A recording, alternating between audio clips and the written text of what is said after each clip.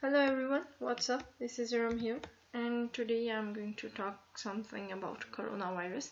As you guys know that it's a hot topic nowadays and I would like to share some statistics of coronavirus here in Brazil.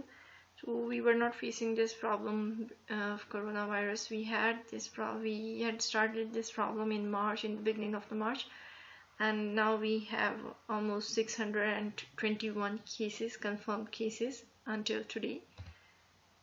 And it's 19 March 2020 yesterday it was 18 March 2020 and there were 428 confirmed cases.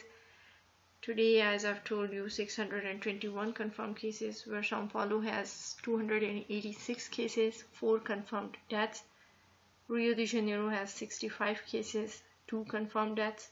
And Brasilia had 36 cases until yesterday but today there are 61 confirmed cases.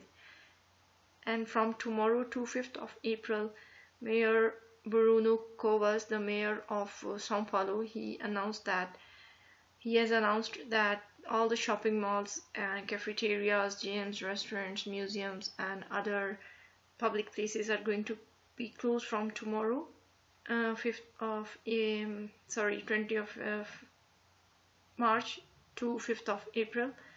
And uh, only the stores the um, superstores or the markets they will work but they will work online.